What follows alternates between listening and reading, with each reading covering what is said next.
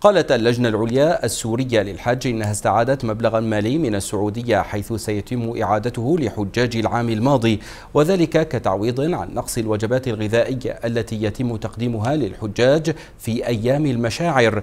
وأضافت اللجنة السورية أنها اتفقت مع وزارة الحج والعمرة السعودية وشركة مطوفي الدول العربية من أجل استعادة 600 ألف ريال سعودي.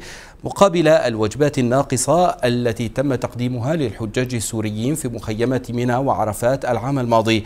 كما أصدرت اللجنة قرارا يفيد بإعادة 60 ريالا سعوديا أو ما يعادل 16 دولارا أمريكيا لكل حاج من الحجاج السوريين.